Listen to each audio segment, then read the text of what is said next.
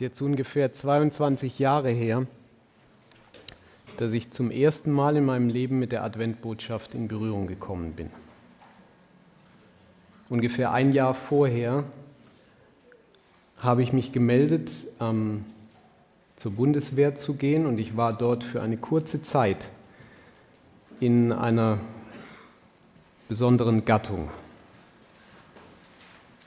Und ich habe gewusst, die ersten Wochen waren, auch wenn ich körperlich ziemlich auf der Höhe gewesen bin, hat mich diese Zeit zeitweise über meine körperlichen und mentalen Grenzen gedrückt. Und jeder von uns, es waren ungefähr 80 Leute, stark 80 Leute in einer Einheit in Deutschland, jeder von uns, zumindest ich, hat gewusst, es kommt nach einigen Wochen, kommt eine Zeit, wo du auf Herz und Nieren geprüft wirst. Und aller Voraussicht nach wird es nur, werden es wenige Männer sein, die durch diese Zeit durchgehen und das durchstehen. Das war mein Sturm, der damals auf mich zugekommen ist. Und als ich in dieser Zeit gewesen bin, nach dem ersten Abend, nach der ersten Nacht, ist die Mehrheit von diesen gut 30, die es noch waren, die da da gewesen sind, ist ausgestiegen. Und ich habe gemerkt, nach einigen Tagen habe ich gemerkt, was es bedeutet, wenn du mental so strapaziert bist und das Körperliche kommt dazu, dass du eigentlich nur noch Befehle ausführst. Und ich weiß noch, dass es dann diese eine Nacht gegeben hat, wo wir hatten nicht immer viel Schlaf gehabt, um es mal moderat auszudrücken, dass diese eine Nacht kam, wo die Lautsprecher kam irgendetwas laut in Russisch oder irgendeiner anderen Sprache, auf jeden Fall, es hat Panik in dir auslösen können und du hattest nur eine ganz kurze Zeit, bis du draußen sein musstest, voll angezogen. Ich habe mich sowieso die Schuhe nicht mehr ausgezogen, weil es hat zu lang gedauert nachts wo du draußen sein musstest und sie haben uns dann geschickt, um Lagerrunden zu drehen. Und ich weiß noch in dieser Nacht, dass ich mir, während ich da gerannt bin, irgendwann die Frage gestellt habe, wofür mache ich das eigentlich hier? Warum mache ich mich eigentlich hier kaputt? Und ich habe in dem Sturm erkannt, und das ist eine sehr ernüchternde Erfahrung, dass ich nicht für den Sturm bereit gewesen bin. Gott möchte, dass sein Volk für den Sturm, der auf uns zukommt, bereit ist. Und ich möchte euch gerne mitnehmen in die Offenbarung, in unseren Text für heute Nachmittag. Offenbarung Kapitel 7 und ich lese nochmal ab Vers 1, Vers 3 ist der Text für heute.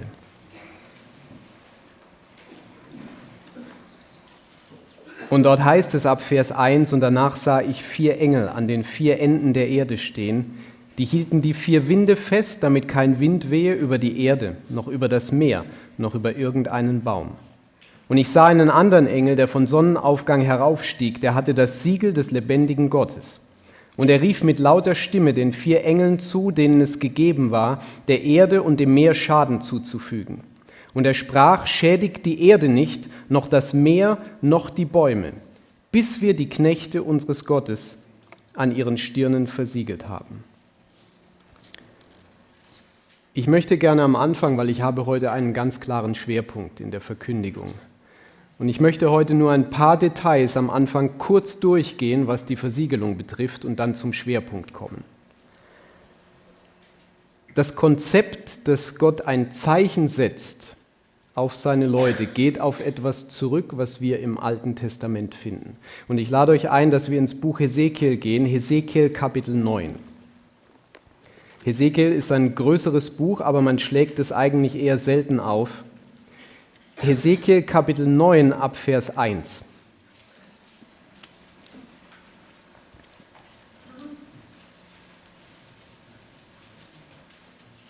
Und dort heißt es, und er rief mir, mit lauter Stimme in die Ohren und sprach, Kommt herbei, ihr Aufseher über die Stadt.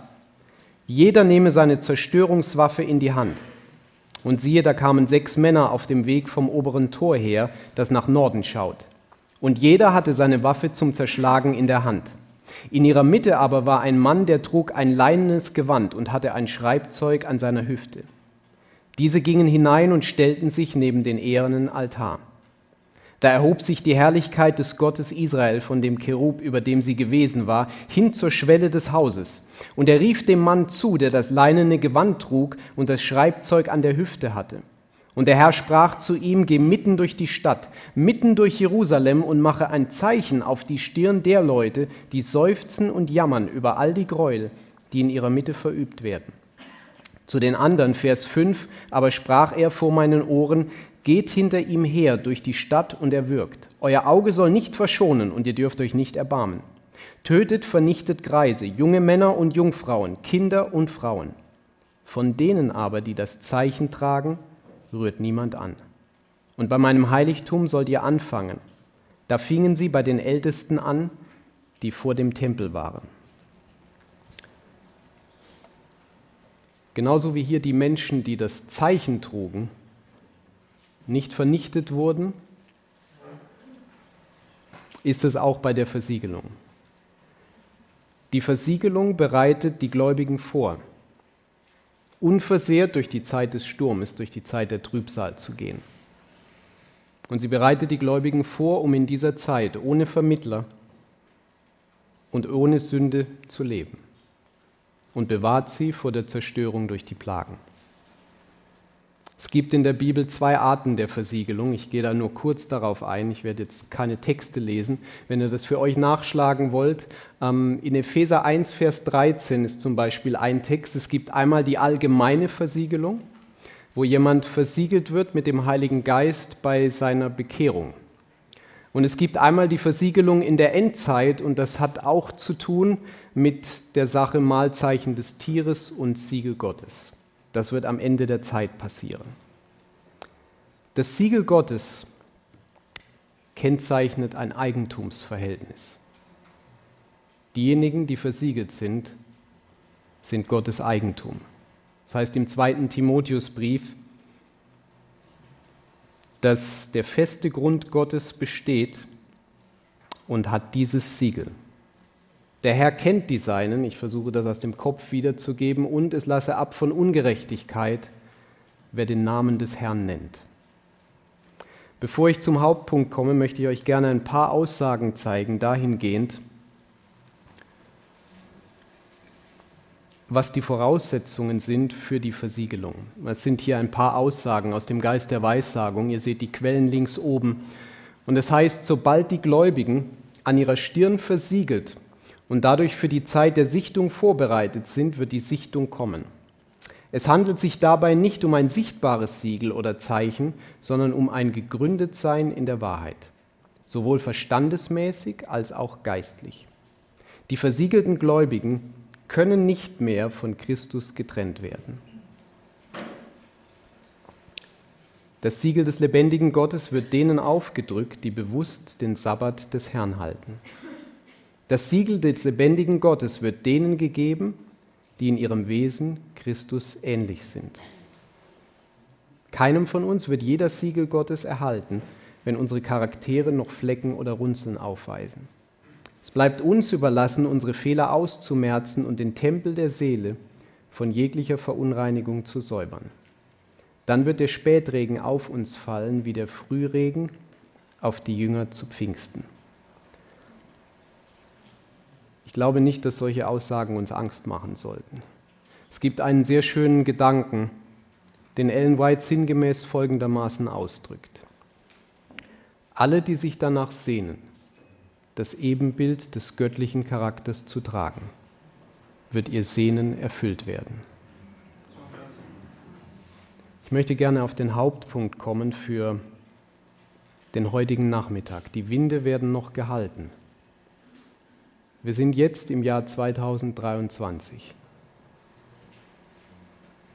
Und die Frage ist, warum ist Jesus noch nicht wiedergekommen? Warum wartet Gott noch? Wenn wir das Alte Testament aufschlagen, dann sehen wir, dass Gottes Volk schon vorher in das verheißene Land nach Kanaan hätte einziehen können. Aber wir sehen, dass sich dieser Einzug verzögert hat.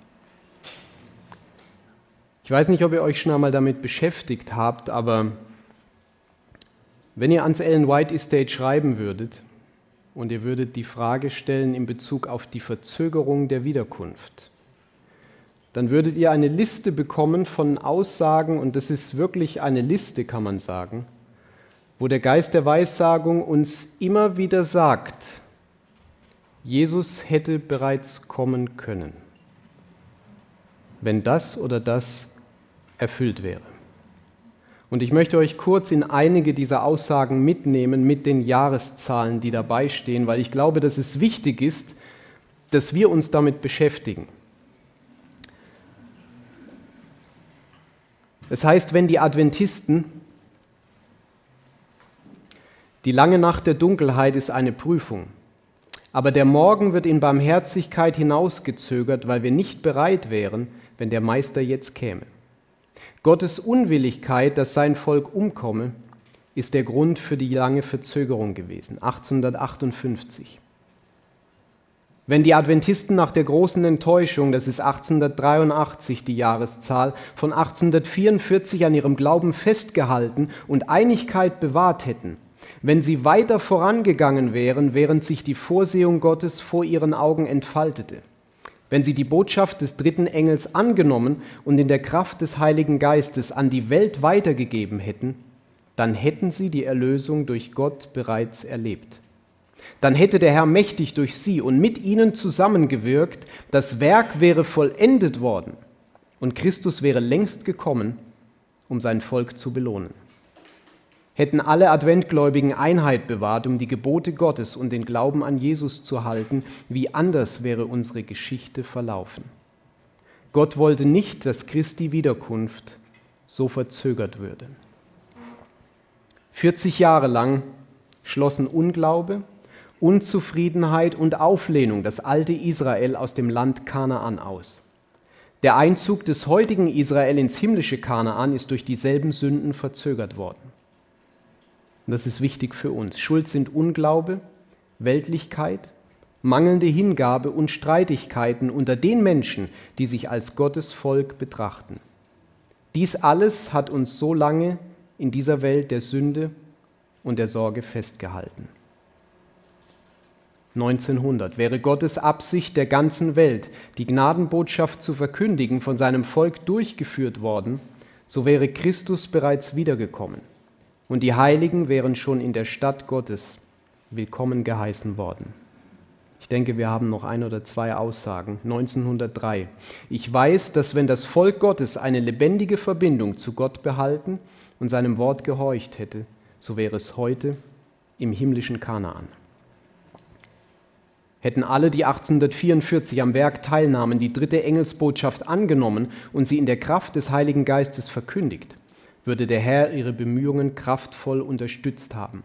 Eine Flut von Licht hätte sich über die Welt ergossen und schon Jahre früher wäre die Welt gewarnt gewesen. Das Abschlusswerk wäre vollendet worden und Christus wäre zur Erlösung seines Volkes erschienen. Letzte Aussage 1909. Hätte jeder Streiter Christi seine Pflicht erfüllt, hätte jeder Wächter auf der Mauer Zions mit der Posaune einen deutlichen Ton gegeben, dann würde die Welt schon eher die Warnungsbotschaft vernommen haben. Aber das Werk ist weit hinter der Zeit zurück. Während die Menschen schliefen, hat Satan die Gelegenheit benutzt, uns zuvorzukommen. Eine schmerzliche Erinnerung für die Adventisten daran, dass sie oder in Verbindung damit, dass wir schon so lange in der Wüste wandern, war damals der Tod eines unserer bekanntesten Pioniere. Und ich denke, es waren in Battle Creek bei seiner Beerdigung waren so viele Menschen, wie sie wahrscheinlich seit einer Beerdigung 22 Jahre vorher, nämlich von James White, nicht gewesen waren. Uriah Smith, einer unserer bekanntesten Pioniere, starb so wie der Herr, den er liebte, an einem Freitag und ruhte am Sabbat im Grab. Und A.G. Daniels hat damals die anerkennenden Worte gesagt und er hat sinngemäß ausgedrückt, wenn wir unsere Aufgabe, wenn die Gemeinde ihre Aufgabe getan hätte und Gottes Botschaft verkündigt hätte, seine Botschaften, dann wäre der Herr vorher gekommen. Und wenn unser verstorbener Bruder uns eine letzte Botschaft hinterlassen würde, dann wäre es sicherlich diejenige, seinem Volk zu sagen, die Aufgabe schnell zu vollenden. Es gibt einen sehr interessanten Bibeltext im zweiten Petrusbrief. Ich möchte euch gerne dahin mitnehmen, in den zweiten Petrusbrief im dritten Kapitel. 2. Petrus Kapitel 3 ab Vers 9.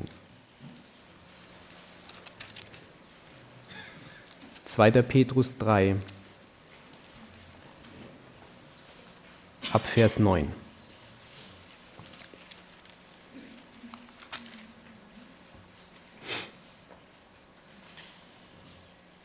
Und dort heißt es, der Herr zögert nicht die Verheißung hinaus, wie etliche es für ein Hinauszögern halten, sondern er ist langmütig gegen uns, weil er nicht will, dass jemand verloren gehe, sondern dass jedermann Raum zur Buße habe.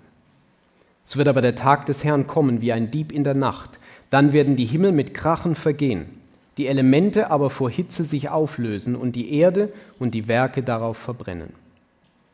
Da nun dies alles aufgelöst wird, wie sehr solltet ihr euch auszeichnen durch heiligen Wandel und Gottesfurcht. Vers 12, indem ihr das Kommen des Tages Gottes erwartet und ihm entgegeneilt, an welchem die Himmel sich in Glut auflösen und die Elemente vor Hitze zerschmelzen werden.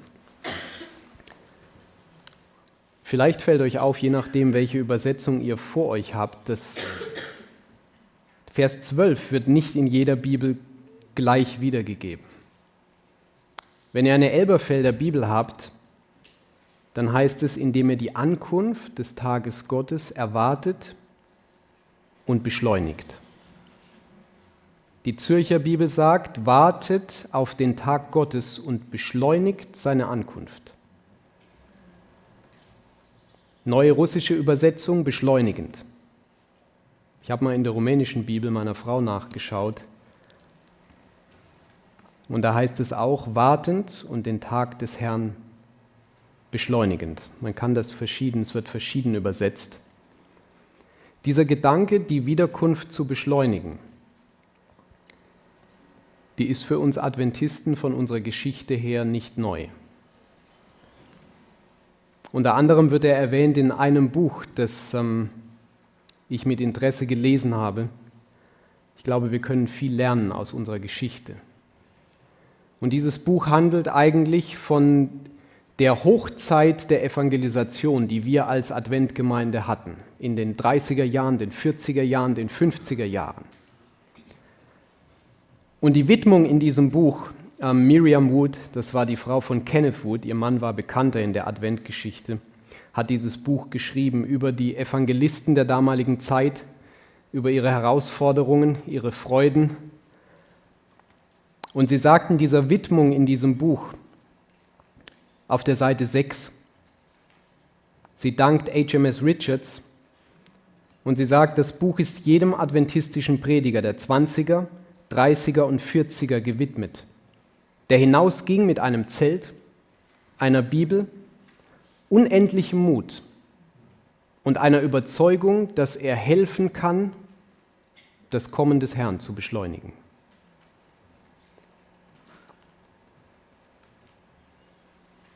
Es gibt zwei Punkte, wenn wir uns damit beschäftigen, die wir uns anschauen sollten, wenn es um diese Thematik geht. Und ich möchte zu einem Punkt einen Text mit euch lesen aus Matthäus 24. Matthäus 24 ist ja ein Kapitel,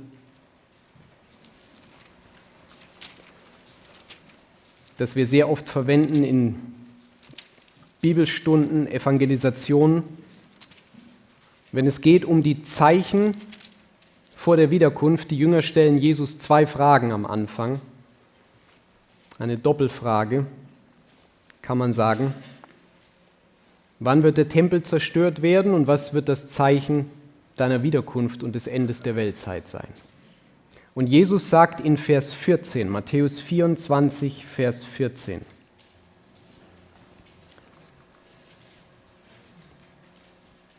Und Jesus sagt, und dieses Evangelium vom Reich wird in der ganzen Welt verkündigt werden zum Zeugnis für alle Heidenvölker, und dann wird das Ende kommen. Ich möchte euch gerne mitnehmen noch in ein paar Aussagen, bevor ich euch noch etwas dazu zeigen möchte. Es heißt hier im Leben Jesu, das ist die alte Ausgabe, vor dem Fall Jerusalems erklärte Paulus, getrieben vom Heiligen Geist, dass das Evangelium gepredigt ist unter aller Kreatur, die unter dem Himmel ist. So muss nun auch vor der Wiederkunft Christi das ewige Evangelium allen Nationen und Geschlechtern und Sprachen und Völkern gepredigt werden. Christus sagt nicht, dass die ganze Welt bekehrt werden würde, sondern nur, es wird gepredigt werden, dies Evangelium vom Reich in der ganzen Welt zum Zeugnis für alle Völker und dann wird das Ende kommen. Durch die Verkündigung des Evangeliums liegt es in unserer Macht, Christi Wiederkunft zu beschleunigen. Wir sollen nicht nur auf sie warten, sondern der Zukunft des Herrn entgegeneilen. Hätte die Gemeinde Christi das ihr aufgetragene Werk nach seinem Willen ausgeführt, dann würde die Welt längst gewarnt worden sein. Und der Herr wäre mit großer Kraft und Herrlichkeit schon auf diese Erde gekommen. Und es gibt einen zweiten Punkt, der ist mit diesem hier verwoben, kann man sagen. Die kann man nicht voneinander trennen. Und ich möchte gern diesen zweiten Punkt, das kommt aus dem Buch Christi Gleichnisse, möchte ich diese Aussage gern im Zusammenhang mit euch lesen.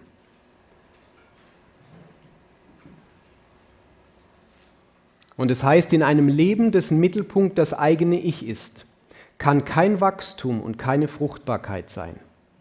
Wenn du Christus als persönlichen Heiland angenommen hast, wirst du dich selbst vergessen und anderen zu helfen suchen. Du wirst reden von der Liebe Christi, erzählen von seiner Güte, eine jede Pflicht, die sich dir darbietet, erfüllen. Du wirst für andere Seelen fühlen und versuchen, durch alle dir zu Gebote stehenden Mittel Verlorene zu retten.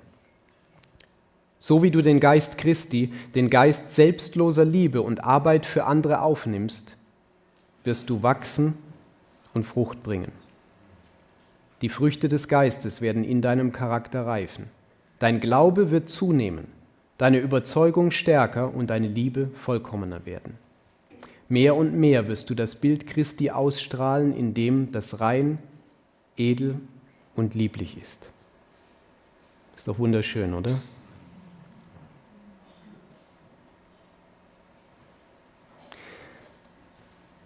Wisst ihr, ich denke nicht, was, ich denke, dass sich viele nicht bewusst sind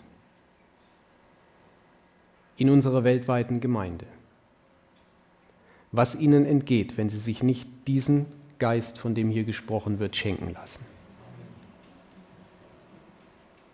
Es ist für mich eine der schönsten Erfahrungen zu sehen, wie Geschwister ihre ersten Erfahrungen machen in solchen Bereichen.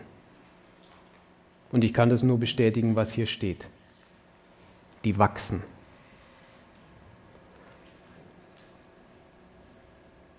Geduld, Freundlichkeit, Gütigkeit, Glaube, Sanftmut, Keuschheit. Diese Frucht kann niemals vergehen, sondern wird eine Ernte hervorbringen nach ihrer Art zum ewigen Leben. Wenn sie aber die Frucht gebracht hat, schickt er bald die Sichel hin, denn die Ernte ist da.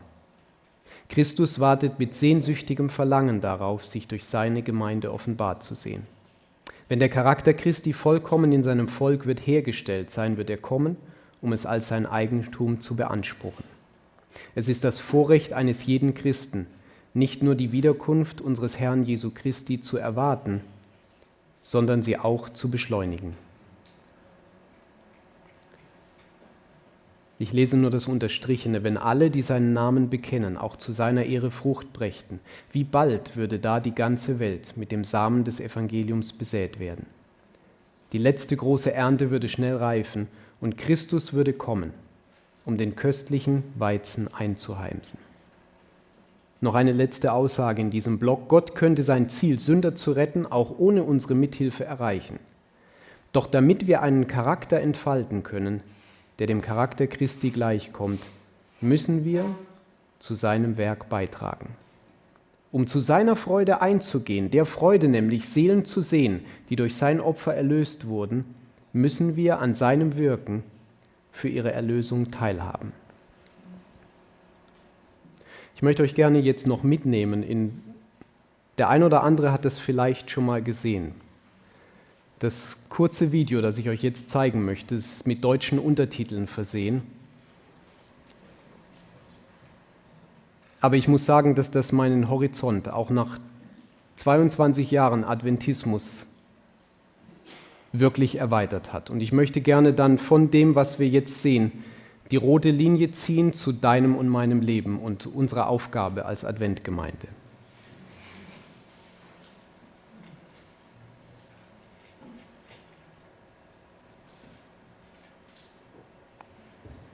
There are 1.5 billion people in the world that have never heard the name of Jesus. Did you hear what I said? I don't think you heard it. There are 1.5 billion people that have never heard the name of Jesus.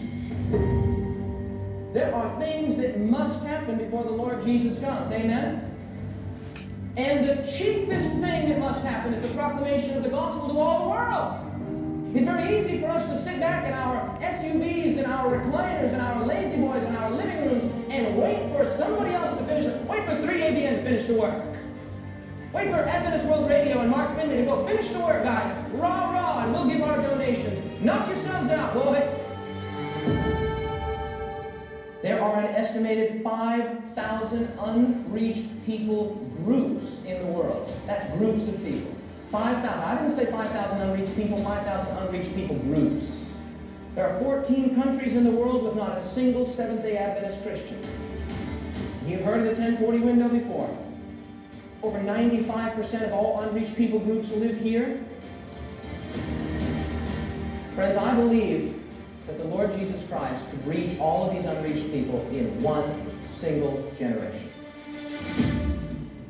Singleness of purpose.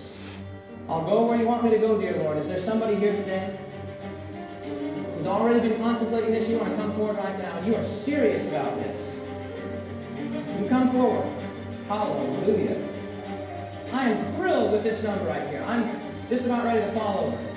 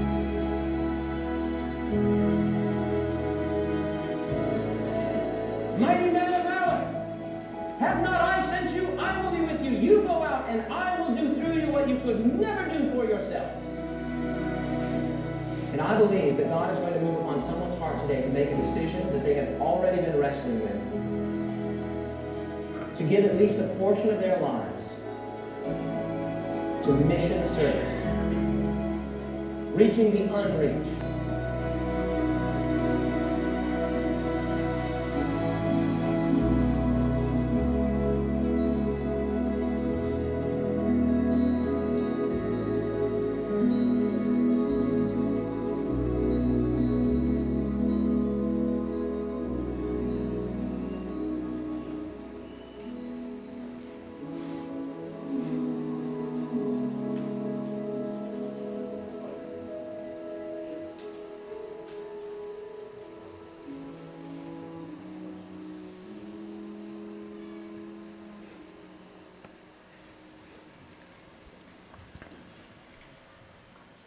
Was eine Familie für einen Unterschied machen kann. Ich glaube, wenn wir die rote Linie zu uns ziehen und zu unserem Leben, es wird nicht jeder irgendwo auf ein Missionsfeld gehen, aber ich sage euch, als ich das zum ersten Mal gesehen habe, seit dem Zeitpunkt, wenn der Herr mich daran erinnert, bete ich jeden Tag für Adventist Frontier Missions, die ihre Leute schicken und Adventist World Radio. Und es gibt noch andere. Es gibt nicht nur durch Menschen, dass das Evangelium verkündigt wird, es gibt verschiedene Wege. Aber was würde passieren, Geschwister, wenn jeder siebenten Tags Adventist ab morgen sich vollständig Gott weihen würde, ohne Einschränkung, und bereit wäre, Herr, zu sagen, da wo du mich hinsendest, da gehe ich hin, an dem Platz, wo ich stehe, da werde ich die Botschaft weitergeben. Das ist eine kostbare Botschaft, die wir haben. Das ist nicht jedem bewusst. Aber die Sache, der Punkt, ob ich mich von Gott so verwenden lasse, wie er es möchte, der macht einen Unterschied.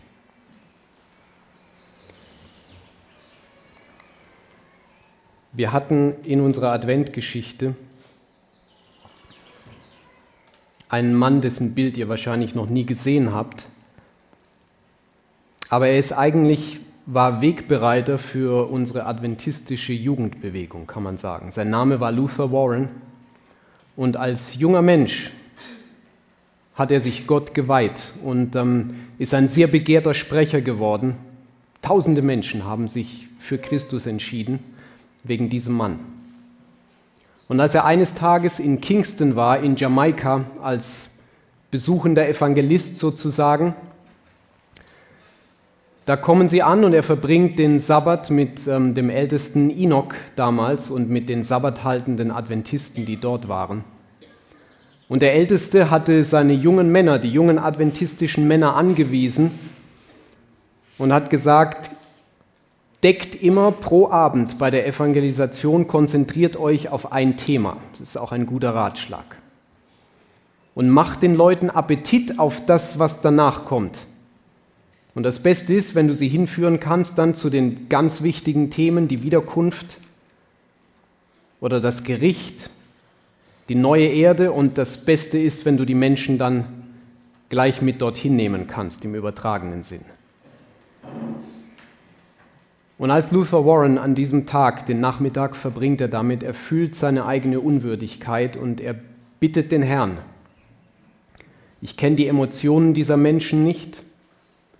Hilf mir, dass ich das sage, was du sagen würdest, wenn du hier stehen würdest. Und als Luther Warren dann vor dem Publikum steht, so wie er es gewohnt war, er schaut sich seine Zuhörer an und dieser Älteste, der Elder Enoch, lehnt sich zurück und er ist zufrieden damit, dass er diesen Evangelisten Luther Warren eingeladen hat. Und Luther Warren fängt an mit seinem Thema und er fängt an, das Thema, über das er sprechen sollte, war Daniel Kapitel 2. Und er fängt an und geht direkt rein in sein Thema und nach drei oder vier Minuten ist er fertig. Er hat das aber sicherlich nicht schlecht abgedeckt. Er hat in seinem ganzen Leben vorher noch nie so einen Vortrag gehalten in der Form. Und hinterher nur einen, der ähnlich war. Und er merkt nach diesen drei, vier Minuten, er ist fertig mit Daniel 2 und so geht er über zum nächsten Thema. Und nach ein paar Minuten hat er dieses Thema abgedeckt und geht weiter zum nächsten. Bis er schließlich dann, kann man sagen, einen Überblick hat, gegeben hat am Ende der Stunde über unsere wichtige Botschaft. Das ist unglaublich, ich wäre gern dabei gewesen. Ich weiß nicht, wie, wie Gott das geführt hat, dass er in so kurzer Zeit diese ganzen Dinge reinpacken konnte, in die Zeit, die er für Daniel 2 gehabt hätte. Und während er so spricht und er geht von einem Thema und handelt das Thema ab und geht zum nächsten, ähm, da ist dieser älteste Enoch, er hält es nicht mehr aus und er steht auf und er geht hinter den Vorhang und händeringend sagt er, Herr, warum, warum habe ich den Mann eingeladen? Warum hast du ihn geschickt, sinngemäß? Und als er kurz durch den Vorhang durchschaut, da sieht er etwas, was ihn eigentlich fast überwältigt, vollends.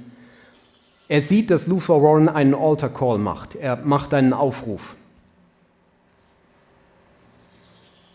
Und Luther Warren macht den Menschen deutlich, Gott hat mich beeindruckt, dass das der letzte Aufruf des Himmels ist. Ich weiß nicht mehr, ob er gesagt hat für den einen oder für manche von euch. Kommt.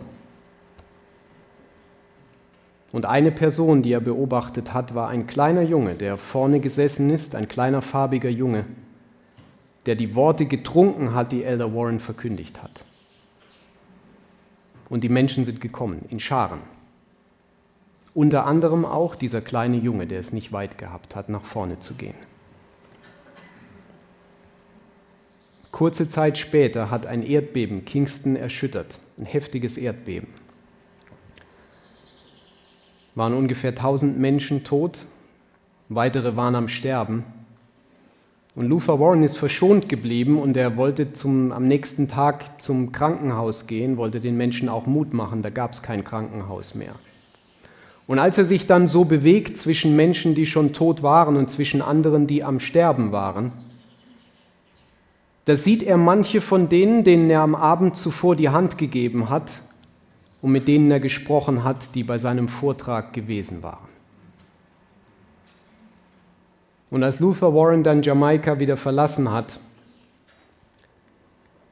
da gab es Menschen, die haben die Botschaft gehört und manche davon zum ersten und zum letzten Mal.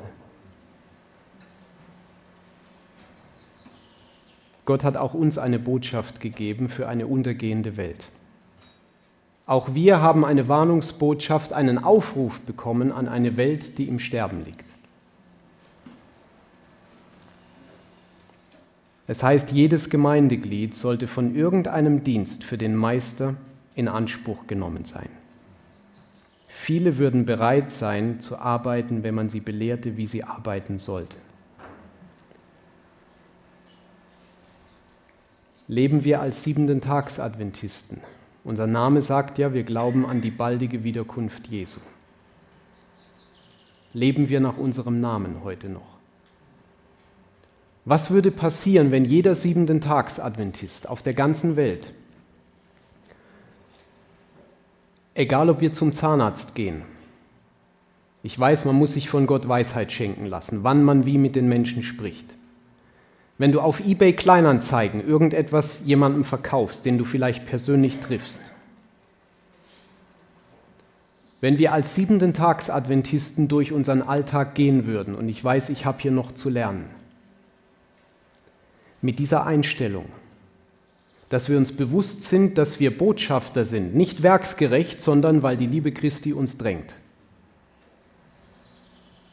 Und versuchen würden, jeden Menschen, dem wir irgendwie näher begegnen, ihn mit der Botschaft, die Gott uns gegeben hat, zu erreichen. Es heißt, es gibt keine Aufgabe von gleicher Bedeutung. Die Verkündigung der ersten, zweiten und dritten Engelsbotschaft. Wir haben heute keine Zeit für Rebellion. Ich glaube nicht, dass es sinnvoll ist, sich an Themen festzufahren, ob die Erde jetzt rund ist oder flach. Wir müssen die Botschaft verkündigen auf dieser Erde.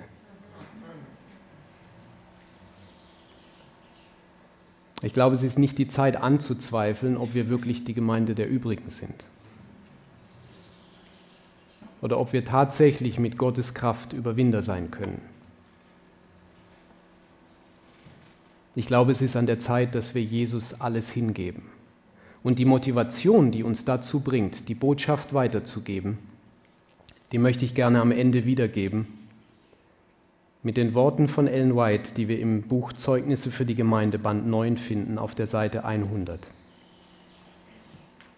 Und da sagt sie, als ich daran dachte, wie der Kelch in der Hand Christi zitterte, als ich wahrnahm, dass er es hätte ablehnen können, ihn zu trinken, dass er die Welt in ihren Sünden verderben lassen konnte, da gelobte ich, alle Kräfte meines Lebens im Werk der Seelengewinnung einzusetzen.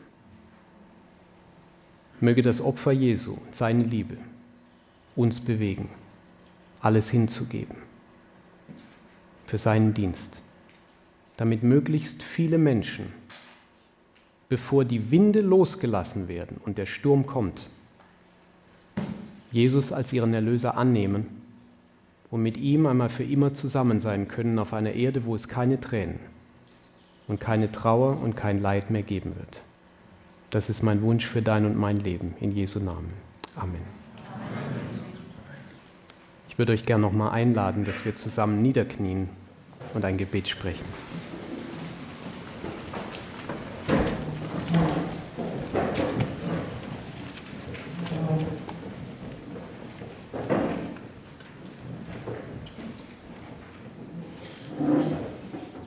Lieber Vater im Himmel, wir danken dir dafür, dass die Winde gehalten werden. Es steckt so viel Liebe in diesem Gedanken und danke Herr, dass wir, jeder einzelne von uns, dir überaus kostbar sind. Herr, wir danken dir auch dafür, dass du dein Volk versiegeln wirst und dass diejenigen, die dann leben in dieser Zeit, dass sie bereit sind, durch die Zeit der Trübsal hindurchzugehen